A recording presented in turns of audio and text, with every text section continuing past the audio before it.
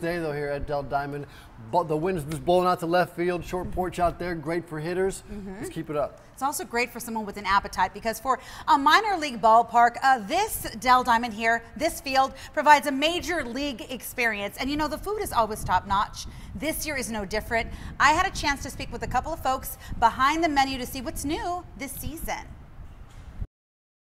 Variety is the spice of life, and here at the Dell Diamond, well, you get a little bit of everything, don't you? Something for everyone. Joining me right now, we have Ali Bennick, the storefront manager. and We have Chef Joel Pena. Thank you both for joining me, and let's get to the food, shall we? Let's do it. What do we have here? So this is one of our new locations. It's called Raging Bowl. This is going to be one of our Far Eastern bowls. Every bowl in that location has a seasoned vegetable with our steamed rice, a different protein on top. This one is going to be our battered chicken with Thai chili sauce. Cheese is the way to my heart. I love mac and cheese, and who doesn't? And this year, you all have a mac and cheese stand, right? Yes, it's called Shea Mac. It's one of our new locations. We're debuting for opening day. Shea Mac. Shea Mac. I love this. So what are we making, Chef? Right now we're doing a mac and cheese bowl with what on top? Right now, we're gonna do two of them. Uh, we're gonna start with the hot chick, which is uh, hot buffalo chicken uh, that we're gonna put on top with our mac and cheese. I love this. then, this is your, your dinner type of meal. Then we're gonna add a little bit more.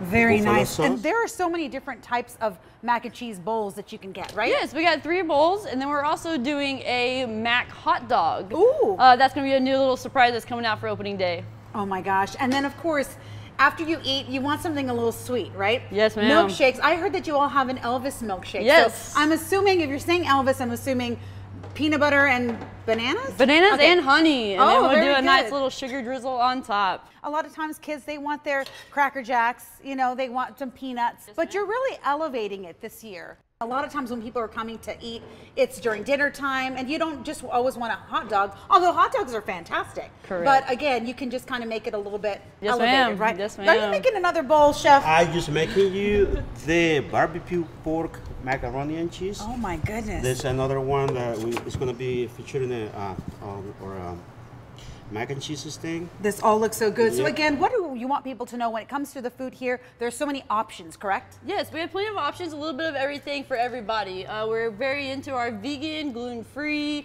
vegetarian. You can find that all across the ballpark at each of our locations. And then we're also introducing a new entree for every location we have.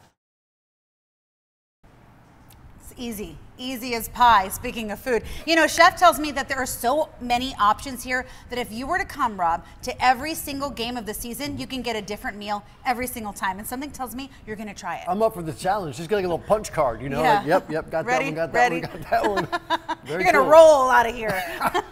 I like it.